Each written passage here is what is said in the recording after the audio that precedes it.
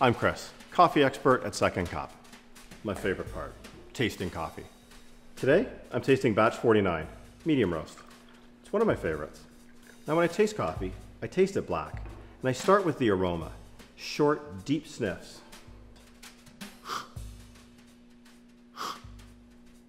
What I smell here is rich, sweet, and the aroma's enticing. Makes me want to taste this coffee. When I taste coffee, I slurp the coffee. I spray it all over my tongue and I notice the different tastes and the different sensations.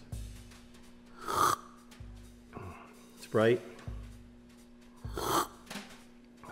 Berry sweetness. I think it's delicious.